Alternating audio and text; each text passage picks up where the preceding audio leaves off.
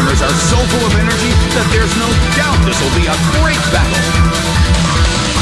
The battle begins. The red corner makes the first attack. A brilliant hit. The battle is getting intense. The situation is a bit of a stalemate. It's a mental tug of war as they anticipate each other's moves.